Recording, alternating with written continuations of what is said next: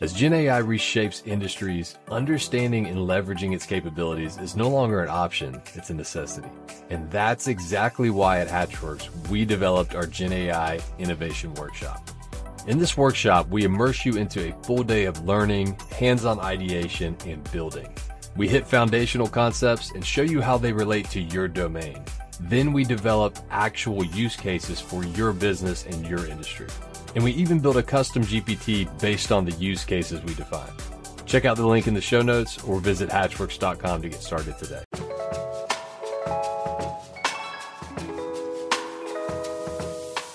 Welcome to Built Right, a podcast by Hatchworks where we help you learn to build the right digital product the right way.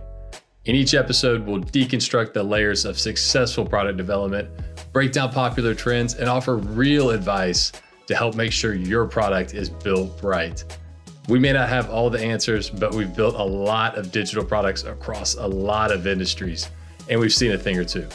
Let's get into it.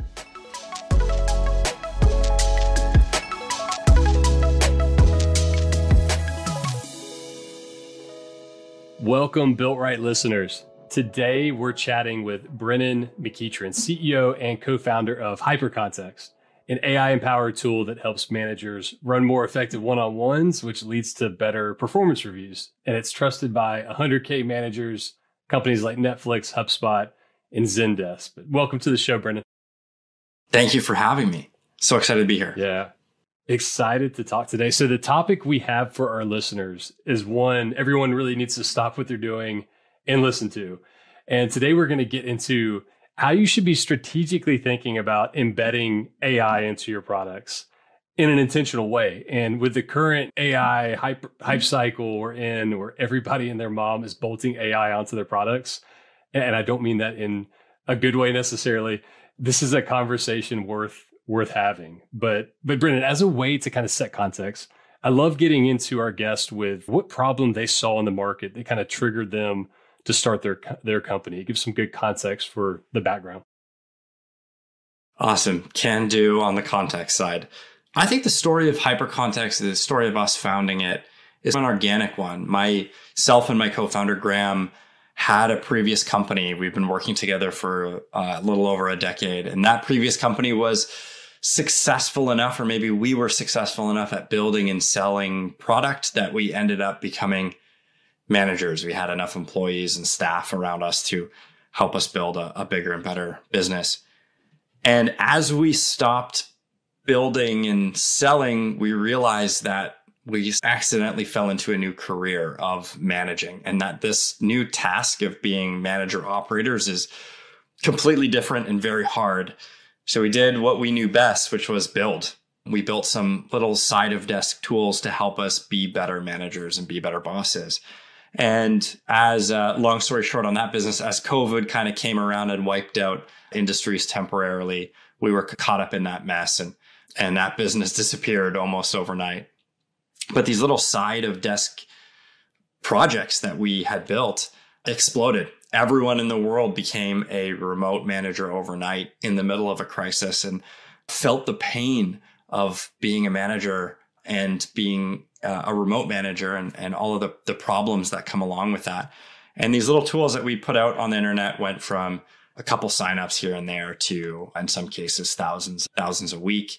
And so we made some tough choices, but otherwise we're able to pivot almost all of our energy towards what today, hypercontext, which is, as you mentioned, building tools for better to, to make managers the, the best bosses their team has ever seen. So we start with one-on-ones, we start with internal meetings, add goals to it all the way through to now just recently launching performance reviews. And I think that sort of leads into trying to build the performance review piece the right way.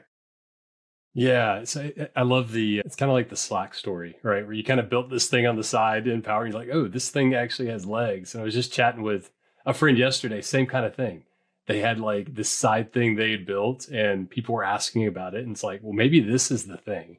But it's kind of an interesting story when something like a pandemic just changes your whole business model, right? Yeah, I think the the saying right of like scratch your own itch is is relevant here. We we definitely started it as like something to scratch our own itch and and as early as we possibly could tried to get external people's input on it. One of the things that I think I learned in, in the first business is like what you want and what helps you is not always the exact same thing as what helps other people. So we tried to look for the general solutions to some of these problems instead of the specific ones that would work for me being a tech guy, a product guy, whatever. We wanted to look for something that had that broader appeal. And that's actually how we landed on one-on-ones. We, we initially thought, hey, there's maybe more meetings that we could tackle. And when we went out and tried to talk to people and figure out a general solution, the, the amount of build we would have to do was just so big. We ended up looking for like, what are some commonalities? And one-on-ones ended up being really appealing for a variety of reasons. But one of the main ones is that an engineer having a one-on-one with their manager is very similar to anyone else at any other company having a one-on-one with their manager almost by definition right? You're you're not supposed to talk about the the tactical day-to-day stuff. And so you you talk about more of the meta conversations which can be similar. So so that sort of led us down the, some of these these pathways. Yeah i think that's an interesting point like just to pause there. For anybody in product, we talk about building your solution the right, building the right solution and building it the right way. Building the right solution, start with a smaller use case. That's a critical piece. Like you could have boiled the ocean and tried to figure out every meeting under the sun and all this stuff, and then your head would just explode with all, everything under HR. But you started with the one on one because it was one that universal, it needed help, right? So you identified this problem in the market I, I just love that. And now it's turning into more as you've built proof behind it. Yeah, it, we started with just exploring, especially coming from the last business where it was a lot of change management to kind of sell the product. We wanted to avoid some of the change management. So we're like, what is already existing? And the only thing that I could kind of point to as proof was like the calendar. So like when we're building some of these products, it was what it already exists on the calendar. Let's not make people do something new. Let's look at their calendar first and see if there's anything we can do on that calendar to make it 10 times better. And so the one on one was there. So was the team meeting. So was the board meeting. So was the, the QBRs, all these other types of meetings. The interesting thing, there's so many things that are interesting about one on ones for us as a business. Almost every manager has one. So there's lots of entry points into the organization, which was a key um, piece of what we thought our strategy would be. Very easy to try because you can try it with one person. You don't have like a town hall is tough to try. You have to do it with your whole company. So you so with a one-on-one, you can pick the most open-minded person on your team, try out the product. If it works well, you get into some of the other things. It's it's very replicable, right? If you have something that works with one person, it should work for other people. So many other things. It can spread, right? Like you have a one-on-one with your direct reports. You also have one with your boss, right? You're you're all the way up to the CEO and the CEO all the way down to a different department. So you can spread. It exists on the calendar. So many things that led us to it. And just because you have seven direct reports, seven one-on-ones, plus your boss, plus maybe a peer one-on-one, just by frequency of meeting, it's it's it's a very high frequency meet, meeting. There's way more one-on-ones than there are team meetings at, at businesses. So all of these things, as we bumped into it, we said, hey, maybe there's something here. What would it look like to, to do a 10x better job? And honed in on that use case. What are people already using for it? What are they, what are the good, the bad? Who are some of the competitors? And for a long time, the only people building tools for this space were the big, boring HR companies, right? And like no one wants to open up or ADP and go into like this tiny little module to fill in a text box when you can have Apple Notes or something like that. So I, I still have zoomed in on that. I still have nightmares from using one of those with the the time entry system. And I'm like, all right, what button do I click? Like, what? Who designed this thing? But they can't get out of their own way because they've so much like legacy. Just what's the word? Technical debt that's that exists there, right? and like they they have to cover so many things or they have to do payroll for glo- for for every culture and company type and all that stuff and you're just one tiny module uh, on there so yeah but a lot of great plg type of uh, motions there like you mentioned the, the high frequency of using the prod, product building the habit i think we talked about the book hooked which if anybody has not read that check that out it's it's great and there there it is the, the yellow blur and the in the background it stands out like a sore thumb, which is another great way of standing out. But I want to uh, let's get into now AI, right? So your company was started uh, post pandemic. This was pre Gen AI, large language model craziness, even though they've been around for a long time. the crazy hype there. And you had AI integrated into the tool, but I'd love to get into this evolution because one thing that struck me when we talked earlier, it's like somebody's going to do this, talking about competitors embedding AI, but they're just not going to do it the right way, right? And we want to do it the right way. Um, but talk about that evolution because so many folks they just bolt on AI. It's from a marketing perspective; they just want to key into the hype. It's such a bad way to do it from a strategic standpoint. Yeah, it's funny. The the place where we have AI the least right now is actually on the marketing side. It's something that we're we're trying to fix. It's definitely pretty heavy on the product. No, you're exactly right. We wanted to build the best for for lack of a better term, we wanted to build the world's best one-on-one tool for managers, right? And that mission will never truly be accomplished because the market moves so quickly and we always have to serve the managers in that use case. But like largely, quote unquote, mission accomplished. We have the best hyper connected um, workspace for one on ones for managers, whether it's just one on ones or you want to bring that team in once we have it for team meetings. We added goals to it. So if you're working on professional development goals, you're working on team goals or OKRs we have the largest library of goal and OKR examples on the internet built into the product. Like largely anything a manager, a, a team lead would need um, out of a, a, platform for leading their team built in um, out of the box. PLG, go try it for free. And I mentioned some of the benefits of, of one-on-ones and some of these team meetings and that we get these, this organizational spread. Well, that started to happen, right? We would start to spread across these organizations through calendar invites as people discovered our tool and shared our tool, COVID taught us nothing else. It's that you, you, look for the super spreaders, right? Like we were looking for the, the, the the people who would spread our tool internally, and they did. And then because we say the word manager so often, because we say the word one on one so often, when it came time for the organization to look at this tool and say, well, what is this tool used for? It's often used for one on ones and for goals. Managers love it. It fell on the desk of HR. And HR looked at it and said, This is great. This actually might be a sign that our organization is maturing. Maybe we need some more of these HR, big HR tools, right? Maybe we need a platform for performance management, which it can do all of these goals and can do all these one on ones, but can also do surveys and can also do performance reviews and can also do all these other things.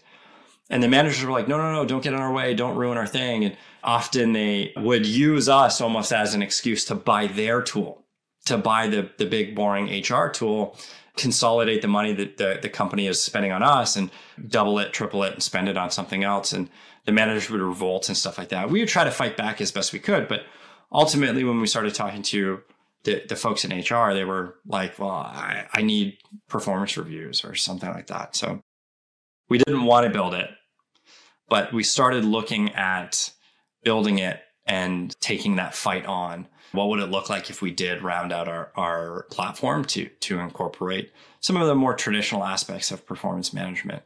Hate that word, by the way, performance management. That's like a micromanagey word. I think that uh, performance enablement, I think that the goal of HR getting involved in performance management is to help people be perform. They're not really there to micromanage performance, they're not getting fired if like marketing misses their their KPIs or sales misses their KPIs. So like, why are they in charge of performance management? It doesn't even make sense. But enabling performance at the company, that makes sense for HR to kind of centralize, right? So we looked at what were the other people doing? Maybe there's integration plays that we can do, et cetera. And one of the first things that popped into our mind was just the quote that HR kept bringing to us, which is well, if, if people are doing their one on ones properly, if they're doing their one on ones right, then come performance review season, there should be no surprises. No employee should be surprised. I've been through that experience. It's like, I have great intentions come January. I'm going to document everything that happens. I'm going to have this great thing at the end of the year. And I, am okay at it sometimes, but I'm not great at it. Right. And that's like a, a, huge piece of what our core product tries to solve, right? Like, can we build in some of these workflows where you can follow through on those great intentions? I think most managers with those great intentions try to implement them with like a Moleskine notebook, right? They get like a new Moleskine notebook and they're like, this year it's going to be better. And that Moleskine notebook has like four pages and then is, is tossed to the side. And HR says, well, we're going to make it better by giving you like a Commodore 64. And you're like, I'm not going to use a Commodore 64 for my like notes. That's insane. I've got modern tech over here. So we wanted to build what would the Apple version of, of this look like? And you're exactly right. If we did the daily habits right, things would be much better. And we've spent so much time on the daily habits that we we legitimately help managers to the point where they they spread the word internally. When we went to HR, it was like, well, if they're doing everything right, then there should be no surprises in performance reviews. Can we actually make it so that it's not just that there's no surprises, that it's it's effortless? What would that look like? And we started exploring around with AI, just making like proof of concept demos of can we take the notes from your one-on-ones? Can we take the goal updates on your OKRs? Can we take some of the stats our platform can generate and integrate that with your HRIS system? And maybe you calibrate the AI with a couple quick questions. Maybe the AI can actually write the review for you. Could that actually work? Tech demo proved that it could. And to the point where I'm sitting there looking at it, being like, I don't know if I want to build this. I don't know if I want to enter this battle and fight some of these big name players but someone is going to do it. And those people are not going to do it with the right intentions.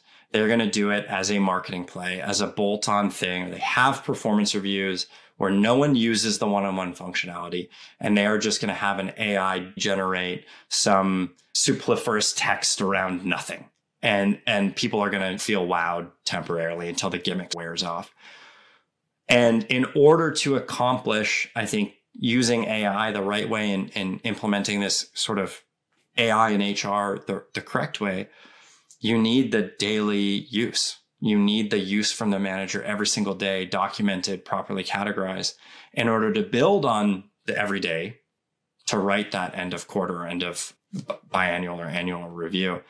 And we had just so happened to have spent an extreme amount of energy over years working on those daily habits that we felt uniquely able to build this the right way in a way that it seemed like no one else was even able to attempt. So we threw our hands in the air and said, like, we got to get this out first so that people know the right way to do this. And then that's what we launched so far. It's, it, it's been amazing. Now, take me back to when that time happened. Because if I recall, y'all were trying to do some of this pre having OpenAI and others kind of opening their APIs. And then they had that and it kind of just democratized things in a lot of ways where you had access to these large language language models that you could then apply to your data. Correct. And then it becomes differentiating because it's unique to you, even though you're leveraging something that's, I guess you get into a whole debate of OpenAI We've been using uh, machine learning AI for quite a while on the the meet. How do we make the meetings better, right? So from categorizing what you're talking about in a one-on-one using those with AI into an engagement framework. So if you're if you're not talking about certain things in an engagement framework, the system's aware of that. It's able to use that information to suggest content to cover your blind spots. So if you haven't checked on someone's motivation in a while, we'll recommend here's a conversation starter that checks on motivation because you haven't checked on motivation with this person in a while. Things that like busy managers have all the right intentions, but they're just busy, right? They're not going to be able to keep track of like, when was the last time I checked on this person's motivation? It's more like, if things are silent, I'm going to assume things are good, and and until I get punched in the gut, uh, uh, you know, a couple weeks down the line. So we've been using some of those things. Same with our next steps. You type a next step out, we would you know automatically figure out the date with machine learning. We'd automatically figure out who to assign it with machine learning. All that stuff. When it came time to think about using that to a greater extent in in writing the written formal um, feedback for the managers. Um, obviously, there's way more data we wanted to pull. It wasn't just what have you typed recently. It was like six months of meeting notes. It was six months of goal updates um, on top of you know data from our reporting on top of a whole bunch of other stuff. So it could generate a lot more high quality feedback. But there's also little things about like coaching and training this model and when we first took these sort of tech demos out to folks in HR, the reaction was like, wow, I feel like I saw the future. I just don't believe it will work. Like, I just don't believe the tech's there yet. I'm like, what do you mean? I just showed this to you. They're like, yeah, no, I see it. I'm looking at the future, but I just don't think the world is there yet. Like, and I think they were more reacting like culturally, like this wouldn't be, they feel like they've seen it, but like they're not sure if they've just, if they're being tricked or what's going on. And, and so the reaction was like overwhelmingly positive, yet very reserved. And then when ChatGPT came out, it was like November, December, and obviously took off, exploded, and everyone and their, their uncle was using ChatGPT for a bit.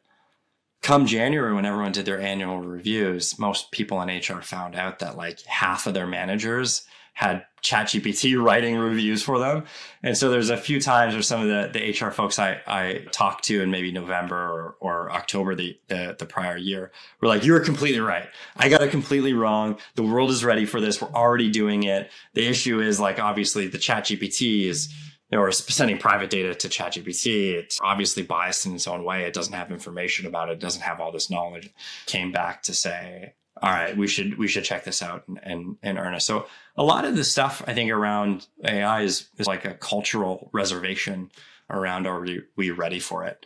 And I think what's interesting for for tech companies to catch up on is like we have to be ready for it, right? Like the wave hits tech first, and if if we're not ready for it, then we're we're in for a world of hurt. So uh, I think playing with some of these things internally feels a lot more palatable than playing with some of these AI tools with like your prospects or your customers, right? That's a little bit more scary. So yeah, that's that's true. I mean, we're doing this right now at, at Hatchworks, right? The generative AI, one of the big areas it will impact is software development. So we're leaning into it, almost trying to disrupt ourselves before competition or somebody else does. So we're taking a similar approach where, okay, we have this new tool and functionality.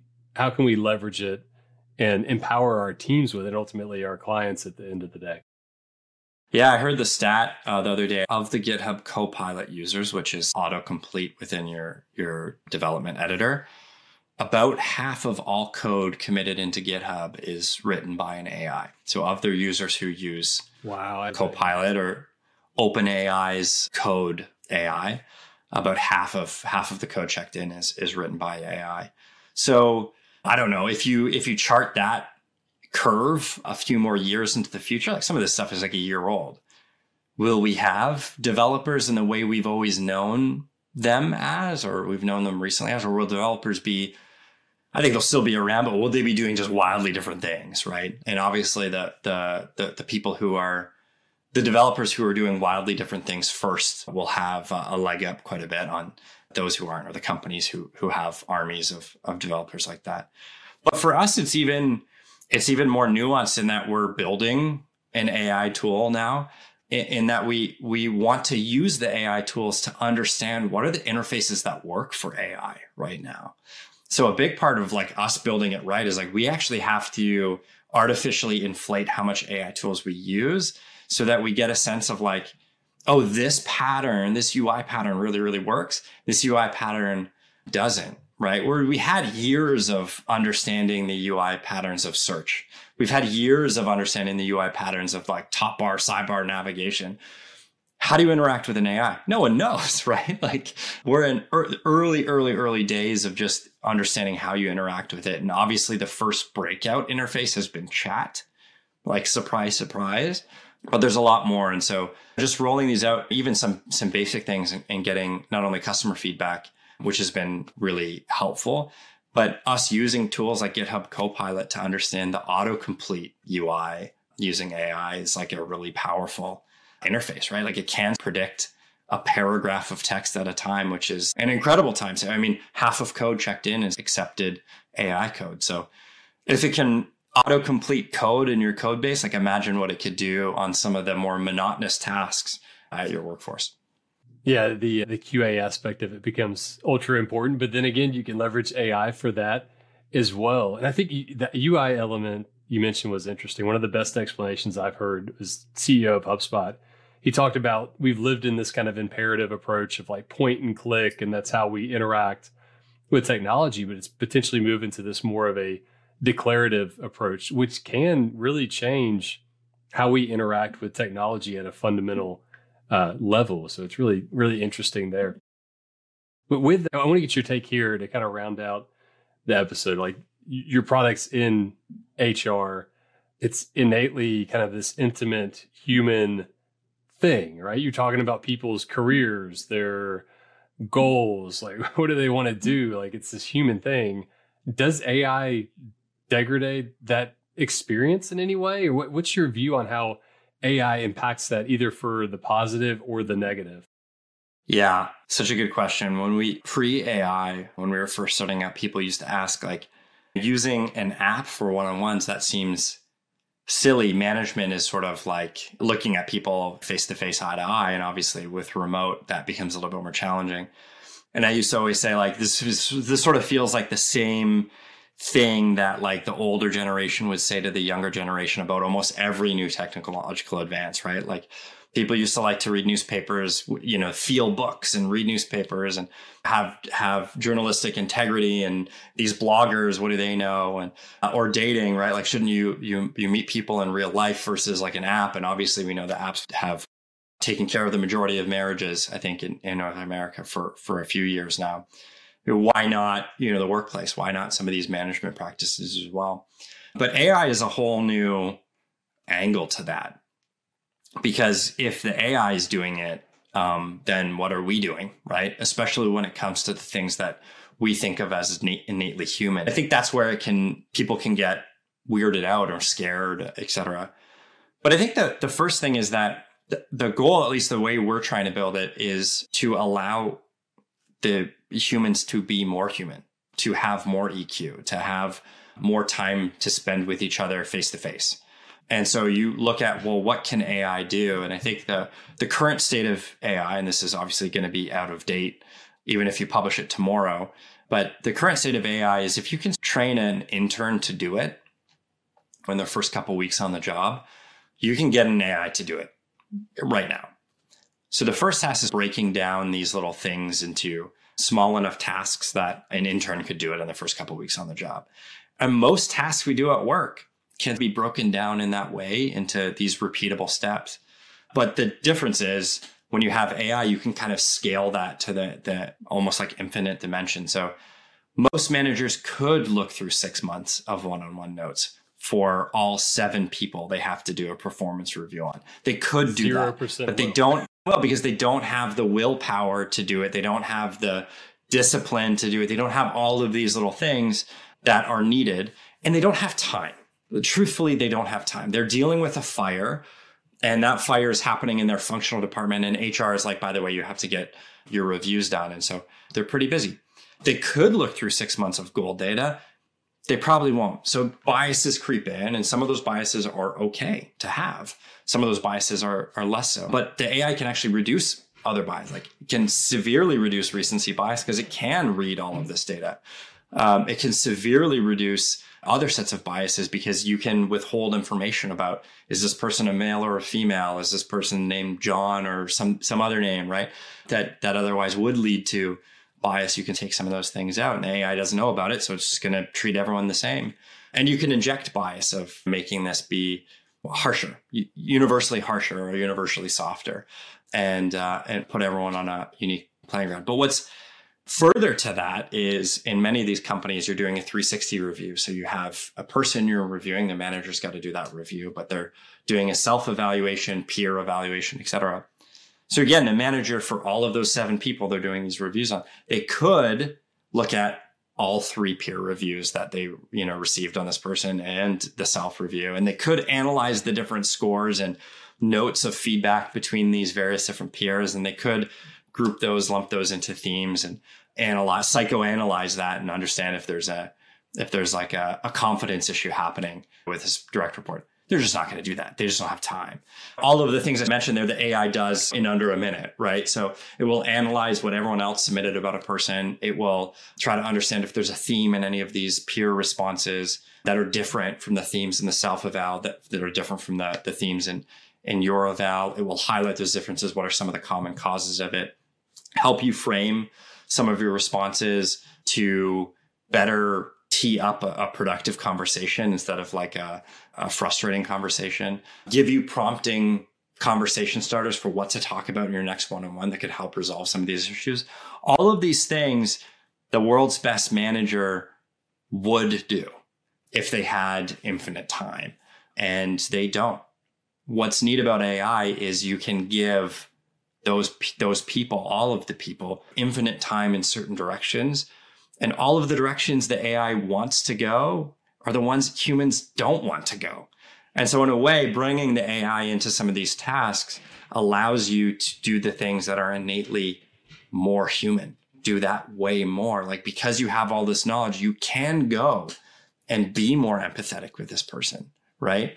Because you now have the notes needed and, and some of the questions needed to be more empathetic. So, yeah, I think a lot of people have fears about maybe AI taking over jobs or AI removing some of the humanity in certain things. And I think often the stuff that AI might end up doing is is the things we knew we should always do, but we got too lazy, right? And now that we're we have this almost infinite willpower source to pull from uh, with AI, what are we now able to do, knowing that we're doing the best job ever in some of those places we were previously lazy? And often, I think that's being more human, being a better person in, in many ways. Yeah, and AI has that potential to, if we do it the right way, to actually make you more human in and of yourself. AI done the right way enhances EQ for the individuals using it. It's kind of like this co-pilot, good name for GitHub, right? But it's like a co-pilot yeah. instead of how AI is used. I'll give you like such a good example of that because this is something that's universally come back from our customers is that, right? Like we take your notes, we take your goal updates, et cetera. But we also ask before we, we do the written feedback, we we ask for some calibration questions. And those calibration questions might be the same questions from your self eval, from your peers evaluation, from your manager's evaluation.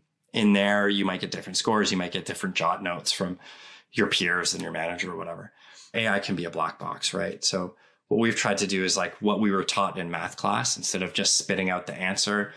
We show the long division step by step, show your work. So one of the areas we show our work is is in analyzing the the peer responses. Well, or sorry, analyzing sort of those those calibration assessment questions we give them to the manager so the manager can do all of the analysis themselves if they want to. But we'll also do that half step for them and just summarize the insights out of it. And almost universally, everyone who's seen that has been like, that's the most valuable thing I've, I've had in my management career, right? Someone to something to read this, analyze it, talk about the surprising, the interesting, the confusing. And like some of the stuff that it gave me and, and others is like, the the person rated themselves low here their peers rated them high you rated them um, you know mid to high and the, the the commentary was overwhelmingly positive the fact that they're rating themselves low either suggests that they might have a confidence issue there's a, a misunderstanding of expectations um, or something else. Like maybe you want to bring up introduce this or ask about these these types of things in this type of way. And every manager is like holy shit right? Like that's incredible. And and the truth is like obviously I'm biased in saying saying that our tool is incredible and it can kind of present incredible content, but like legitimately is. This is like what other people have been saying. So if you do these things right, if you kind of show your work, you break the steps out, you you kind of break things into these tiny steps um, that AI can do a great job of on, you can build into some pretty incredible stuff. And that's where we we've been getting some of the latest stats. I think I shared with you earlier, right?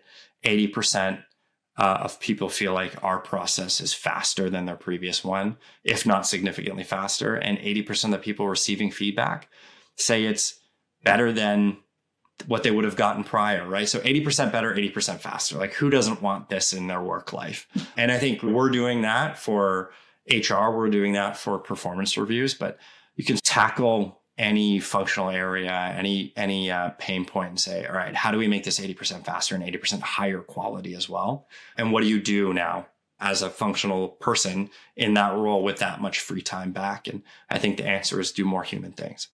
And quick plug for a Built Right episode in the past, episode eight. The intern comment you mentioned triggered me.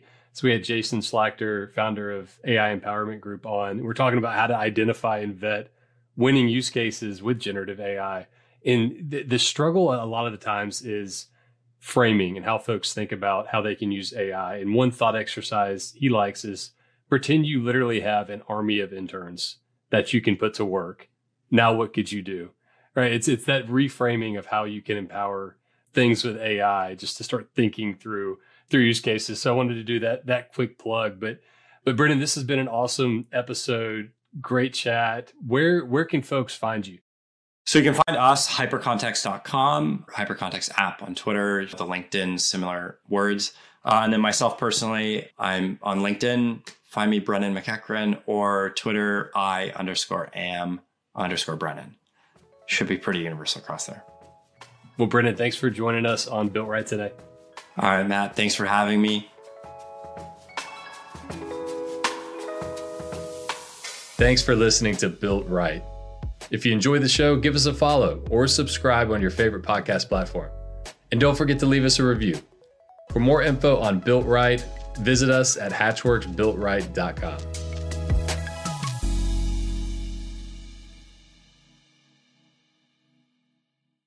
Do you already have a Gen AI use case in mind for your business but don't know where to get started? Hatchworks Gen AI Accelerator is exactly what you need. We guide you from ideation to a tangible prototype. Our approach provides a low risk, high value pathway for you to validate and test Gen AI technology on a small scale before committing to full production. We take you through technology and LLM selection, perform data preparation, and then build the actual prototype. And then we do testing and model fine tuning of your prototype. The best part is, we get you to this prototype in just two to eight weeks based on the scope of your use case. Check out the link in the show notes or visit hatchworks.com to get started today.